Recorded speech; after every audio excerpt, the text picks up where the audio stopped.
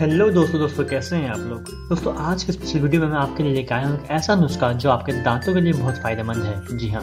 दोस्तों, दांतों की बीमारी जैसे दांत में खून आना, मसूड़े सूजना, मुँह में बदबू आना और समय से पहले दांतों का हिलना, दोस्तों जितनी भी समस्या है, इनसे आपको छुटकारा देगा।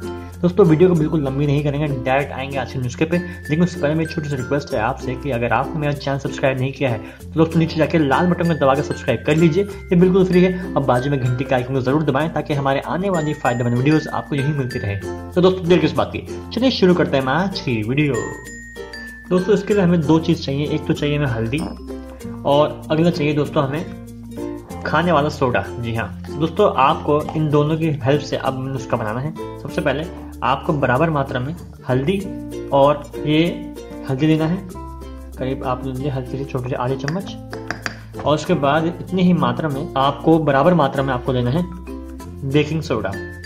एक खाने का सोडा होता है बेसिकली और इन दोनों को आप अच्छे से मिला लीजिए।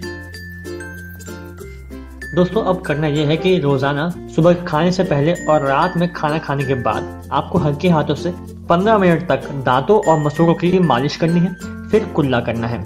दोस्तों, कुल्ला करने के 15 मिनट बाद तक आपको कुछ भी खाना पीना बिल्कुल नहीं है।